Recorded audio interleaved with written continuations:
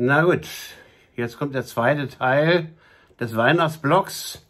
Äh, dass es sich um einen Weihnachtsblock handelt, könnt ihr äh, sehen an der Kerze, die im Hintergrund vor sich hin glimmt, äh, hinbrennt in einem Kranz, einem, einem Nest aus Tannennadeln und äh, ja, und ich wollte äh, den zweiten Block ähm, Hölderlin widmen. Warum Hölderlin?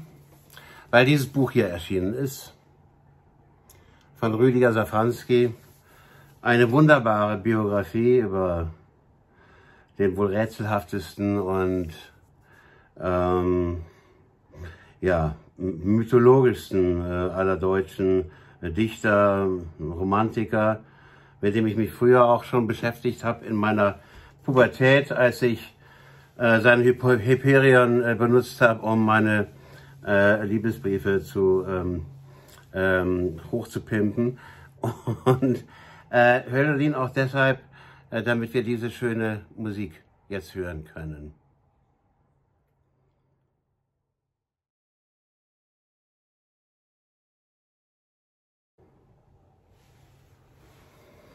Ja, die habe ich aufgenommen bei dem Konzert 2005, ähm, als Pink Floyd zum letzten Mal auftrat in der, in der Originalbesetzung, nicht ganz in der Originalbesetzung, es war dabei David Gilmour, Roger Waters, Nick Wright an den Keyboards und Nick Mason am Schlagzeug. Einer fehlte. Und das war der Gründer der Band, ähm, äh, der unglaublich talentierte und schöne und umschwärmte und ähm, genialische Sid Barrett, ähm, der, ja, der die Gruppe gegründet hatte. Und ähm, im Grunde genommen alle großen Erfolge der Gruppe später äh, waren Elegien, waren Nachrufe auf Sid Barrett. Und was hat Sid Barrett mit Hölderlin zu, zu tun? Auch Sid Barrett verschwand in den Wahn. 1967, ähm, der Hippie-Zeit, hat er eine Überdosis LSD genommen und ähm, ja, und äh, war für die Welt nicht mehr ansprechbar und äh, äh, ein großer Verlust. Und Genie ist eigentlich, äh, einfach sozusagen in die ewige Nacht abgewandert und ähm, und Pink Floyd haben ihm dann hinterhergerufen oder hinterher gesungen, Uh, Wish You Were Here, wie das, was wir gerade gehört haben, und den Song Shine On, You Crazy Diamond. Und Shine On, alle, die Sid Barrett kannten, äh, sagten, er leuchtete. Und das Gleiche war von Hölderlin gesagt worden. Ähm, seine romantischen Freunde, Brentano, Novalis und so weiter. Ich kann mir vorstellen, dass sie äh, auch ihrem Freund Hölderlin hinterhergerufen haben, Shine on, you crazy diamond, leuchte in die Nacht und äh, ähm, also äh, für mich hat, ist Halloween Pop, äh, großartiger Pop und äh, seine, seine Gedichte, seine Elegien, seine Oden, Ode heißt ja im griechischen Gesang, ähm, ja, das, das ist, die müssen die muss man sich laut, die muss man sich laut vorsprechen, ähm, weil sie einfach so unglaublich schön sind. Äh. Nur einen Sommer gönnt ihr Gewaltigen und einen Herbst zu reifem Gesange mir. Das williger mein Herz, vom süßen Spiele gesättigt, dann mir sterbe. Also er wollte nur ein gelungenes Gedicht, einen großen, einen gelungenen Moment, im Grunde einen erfüllten Augenblick, wie Faust im, äh, äh, in, in, in Goethes Faust. Und äh, dann sagte er, dann kann ich abtreten. Und er hatte diesen un unwahrscheinlichen, äh, diesen unwahrscheinlichen Ehrgeiz, diesen Moment, diesen göttlichen Moment äh, zu erleben und ihn in seiner Poesie der Nachwelt ähm, zu übertragen, zu vermitteln. Und ähm, äh, ja, also warum Hölderlin überhaupt? Äh, nächstes Jahr haben wir 250. Geburtstag. Ähm, er ist 1770 in, in, in, äh, am Neckar geboren, in einem kleinen Dorf.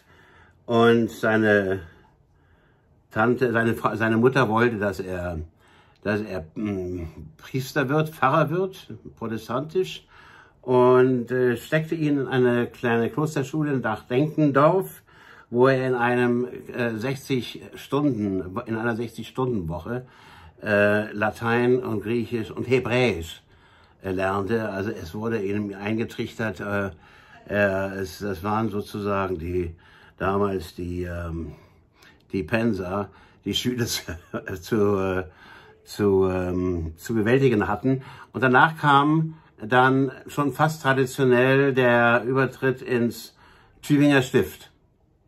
Ähm, und äh, dort teilte er seine Stube mit äh, dem jungen Hegel und dem jungen Schelling, der noch genialer war, äh, noch jünger und äh, ja, die drei, die ähm, äh, ja, die waren sofort eine versch äh, verschworene Truppe, verschworene Gemeinschaft und sie wollten den, sie wollten eine neue Mythologie äh, für das Land. Äh, das ja in, in, Deutschland war ja ein zerrissener Vielvölkerstaat und machte nicht viel her und äh, gleichzeitig war die französische Revolution und an die ähm, an die Banden, die drei, äh, die allergrößten Hoffnungen ähm, an die Aufklärung, an Freiheit, Gleichheit, Brüderlichkeit, an die Republik. Sie waren Republikgläubige.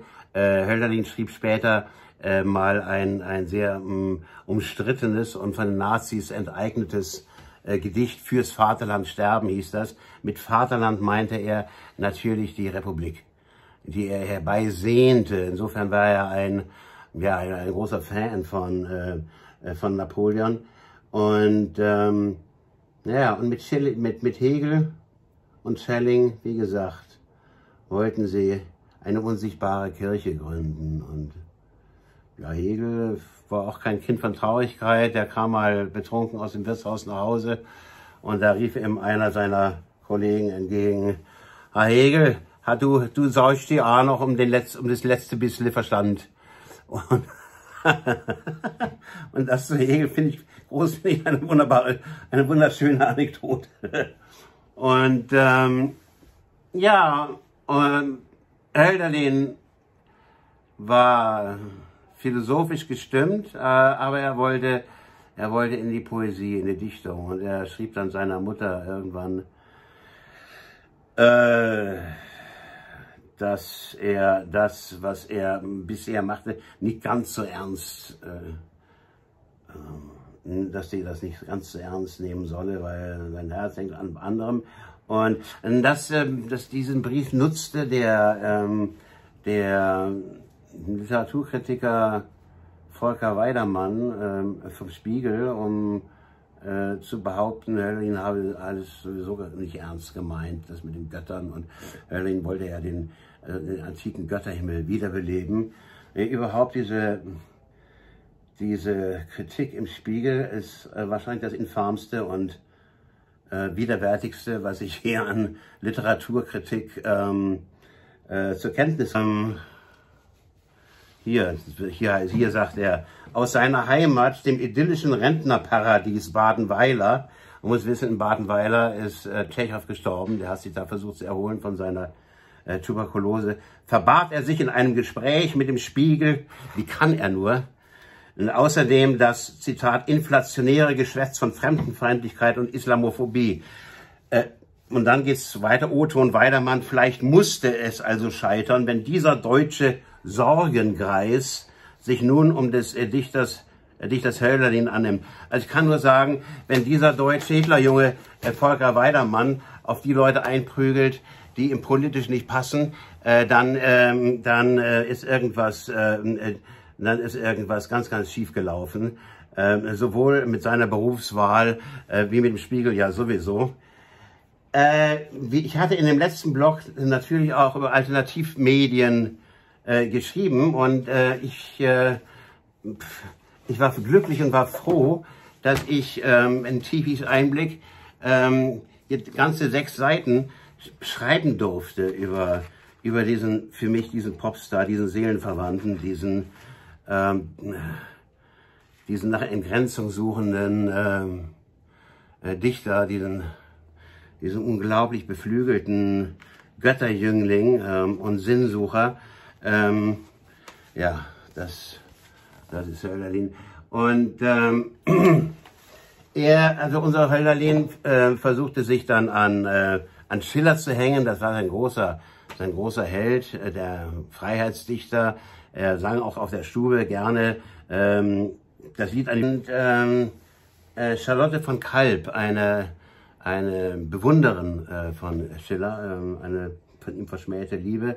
Ähm, äh, Schiller erinnerte sich an sie und sie suchte einen Hauslehrer für ihren Fritz, so hieß der Kleine. Und er ähm, empfahl ihr, der Charlotte von Kalb, eben den jungen Hölderlin. Und Hölderlin hat es äh, äh, mit Beglückung ähm, äh, entgegengenommen, aufgenommen, weil er damit eine, dadurch eine Chance sah, äh, auch an Schiller näher ranzukommen. Also es war sehr kompliziert damals, diese, diese Schnittmusterbögen der, der sozialen Beziehungen. Äh, stellte sich heraus, dass der kleine Fritz eine, ein Laster hatte, äh, dass man damals mit Schwindsucht und Geisteskrankheit und, äh, und so weiter in Verbindung äh, brachte, nämlich er onanierte wie verrückt. und ähm, ja, die Aufgabe eines Hauslehrers wie ähm, Hölderlin bestand nun darin, ähm, aufzupassen, dass es nicht überhand nimmt. Und er saß nächtelang im Bett bei diesem kleinen Fritzen äh, und war dann ziemlich auch selber ziemlich, äh, ziemlich am Ende und gab dann schließlich die Hauslehrerstelle auf. Und, äh, ähm, aber er hatte das Glück, den, den, den Schiller zu erleben und ähm, obwohl er Schiller nicht, äh, also empfahl den, Schiller empfahl der von Kalb äh, den Hölderlin mit den Worten, auch wird ihnen sein Äußeres gefallen. Also ähm, Schiller sah schon in diesem Götterjüngling äh, auch äußerlich schon irgendwie was ganz Besonderes und, äh, und äh, besprach eines seiner ersten Gedichte sehr wohlwollend und äh, ließ es drucken und ähm, Berlin dachte, ja, jetzt bin ich angekommen. Aber es war dann doch ein bisschen komplizierter. Ähm, es gab eine merkwürdige Begegnung da in einem, in einem Zimmer, wo äh, ein anderer auch auf Schiller wartete, ein älterer Herr. Und ähm, Hölderlin ähm, wusste nicht, wer das war, dachte irgendein Handlungsweisen und so weiter. Und dann hinterher hat er, hat er erfahren, dass es sich um Goethe handelte, also um den, um den wirklich, um den literarischen Gott, ja, der damaligen Zeit. und ist dann nie drüber hinweggekommen. Goethe sagte auch irgendwann mal zu den äh, Gedichten von Hölderlin, ähm, ja, die sind eben ein bisschen zu. Äh, ne? Er sollte mal sein Geschick an kleineren Gegenständen, also Naturschilderungen und so weiter, äh, versuchen. Also er hat ihn wirklich klassisch verkannt und ähm, ähm, Hölderlin, Hölderlins Wahn, wenn man so will, war die Antike beim Wort zu nehmen. Damals gab es ja das große, äh, die große Mode der, der, des klassischen Götterhimmels und ähm, viele antike äh, Materialien, auch fürs Theater und so weiter. Und ähm, und er sagte, er nahm also Zeus und, ähm, und Aphrodite und ähm, die Götter, er nahm, die, er nahm das wörtlich und ähm, wandte sich ab von seinem äh, äh, klostergestellten, äh, monotheistischen Christenglauben ähm, äh, hin und wandte sich hin zur antiken Götterwelt, was natürlich auch ein bisschen exzentrisch war. Und er erfand sich einen Helden, den Hyperion. Äh, damals äh, kämpften die Griechen gerade gegen ihre Unabhängigkeit, um ihre Unabhängigkeit gegen, die, gegen das Osmanische Reich. Und es gab da natürlich romantischen Heldenstoff. Ähm, also die Griechen musste man äh, unterstützen, aber ähm, unser Hölderlin hat schnell erkannt, dass da auch eine Menge, eine Menge Gesinde drunter war unter diesen sogenannten Freiheitskämpfern. Und äh, es gibt dann eine Diotima, äh, der seine Briefe, äh, wunderschönen Briefe äh, schreibt. Äh, Liebeslyrik, wie gesagt, also ich in meiner Pubertät habe ich diese Briefe ähm, habe ich diese Briefe nutzen können ähm, äh, und äh, mit Zitaten daraus meine, meine Ergüsse geschmückt. Ähm, aber die Suzette Gontard kennen, eine Bankiersfrau aus Frank Frankfurt und lernte sie kennen und lieben und sie ihn, sie vergötterte ihn.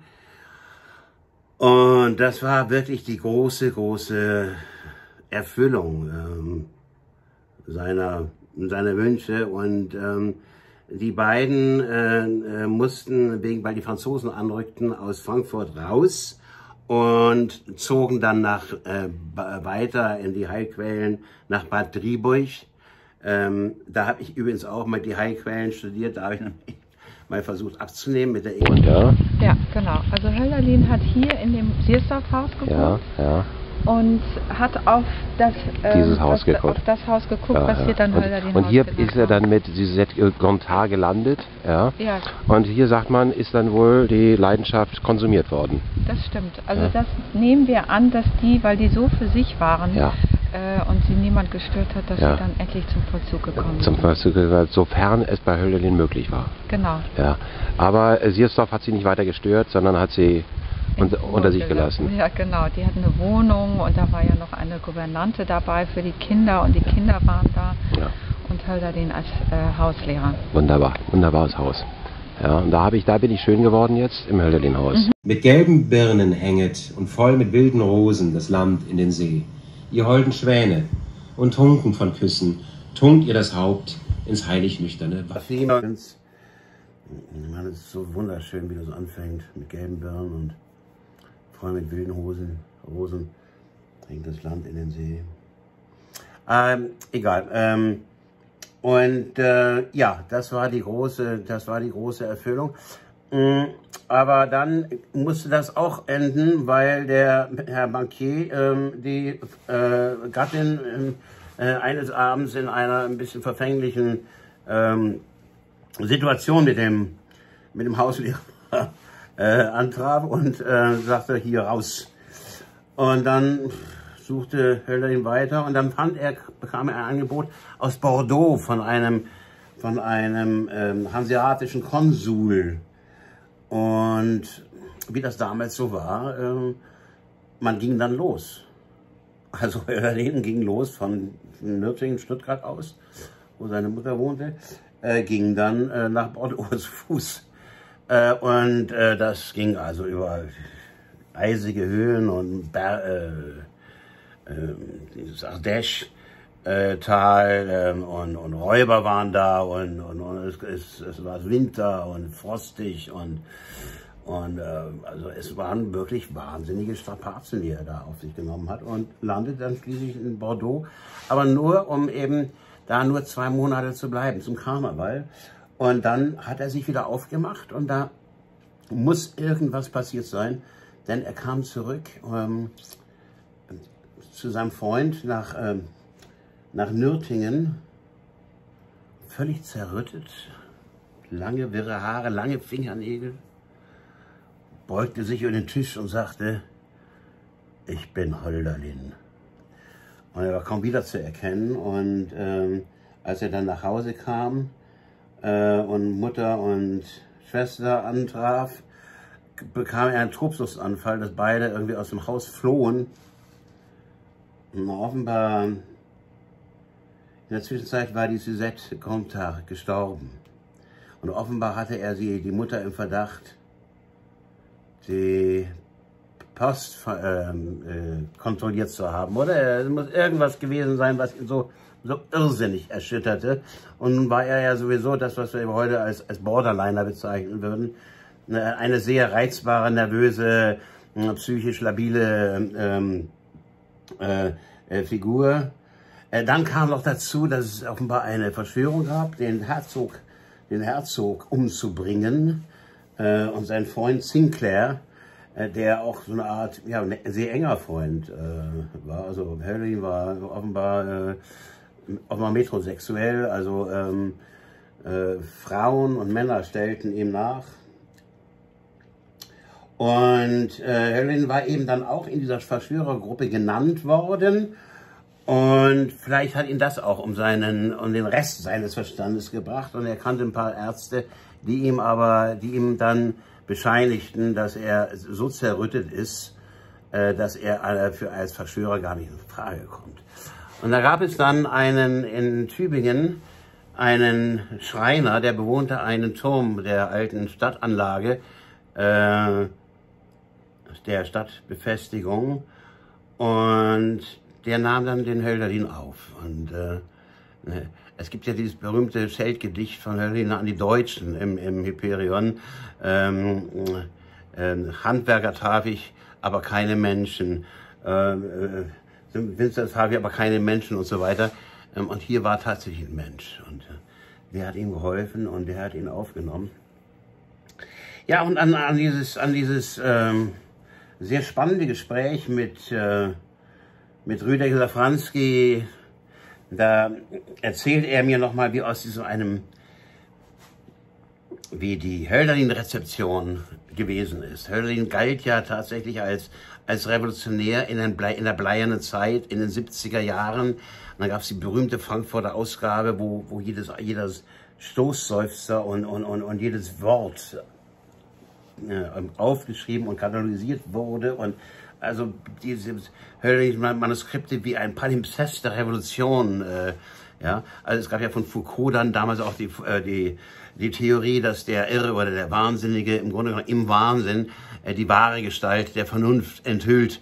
Und äh, also man hat Hölderlin äh, ikonografiert und ähm, was natürlich äh, äh, fragwürdig ist, es ist, ist kaum anzunehmen, dass jemand 40 Jahre lang sich verstellt und äh, vor allen Dingen ähm, zunehmendem Alter dann da, die Gedichte dann auch ähm, schwächer und, und mechanischer und schlechter. Ausgestellt, aber natürlich auch ganz überraschende Entdeckungen, dass er dann in einem Gedicht, wie wenn an Feiertagen plötzlich große Hymne ja und dann unterbricht er, bricht ab und dann kommt ein Ach. Ja. Und Weh. dann eine Lücke ja. und in diese Lücke hinein entwickelt er dann dieses wunderschöne Gedicht äh, Hälfte des Hälfte Lebens, des Lebens ja. ja wie also aus einem Fragment eines Gedichtes ein anderes Gedicht entsteht, ja, ja wie so eine zweite Geburt, eine Geburt eines Gedichtes in einem Gedicht, ja. Das ist, das ist natürlich ungeheuerlich und das kriegt man nur mit, wenn man sich natürlich die Handschriften anguckt. Ja.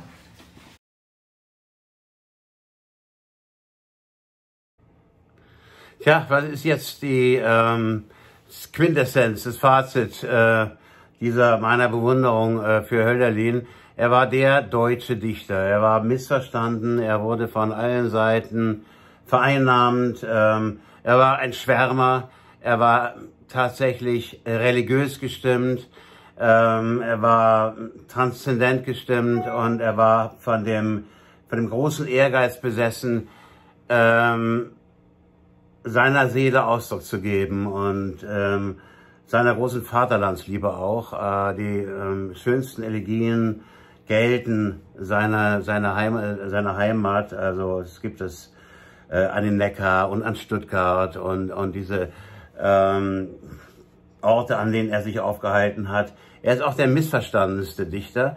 Ähm, die, ähm, der Georgikreis hat ihn, glaube ich, in seiner Tiefe, in seiner Wesenstiefe richtig verstanden. Missverstanden haben ihn die Nazis in dem äh, äh, viel äh, geschmähten Gedicht, äh, äh, in dem die Zeile äh, kommt, für das Vaterland sterben. Er meinte natürlich nicht äh, den Vernichtungskrieg, sondern das Vaterland war für ihn äh, der, der, der, der Vorschein der Republik. Im Grunde genommen äh, wollte er damit sagen, auf den Barrikaden, äh, auf den Barrikaden zu sterben äh, für die Republik. Ähm, denn so revolutionär war er schon. Und ich finde dieses zerbrochene und in der Hälfte abgebrochene ähm, Leben ähm, einfach äh, sehr faszinierend, auch die Unbedingtheit seiner Gefühle die Liebesgeschichte mit ähm, Suzette Gontard und ähm, ja, diese unglaublich musikalische Sprache hier. Hyperions Schicksallied, äh, ganz wunderbar. Ihr wandelt droben im Licht, auf weichem Boden, selige Genien, glänzende Götterlüfte rühren euch leicht, wie die Finger der Künstlerin heilige Seiten. Und die übernächste Strophe. Doch uns ist gegeben, auf keiner Stätte zu ruhen. Es schwinden, es fallen, die leidenden Menschen, blindlings von einer Stunde zur anderen, wie Wasser von Klippe zu Klippe geworfen, jahrelang ins Ungewisse hinab. Und so ist es dann auch visualisiert in seiner Schrift, in dem abfallenden, in den abfallenden ähm, Versen.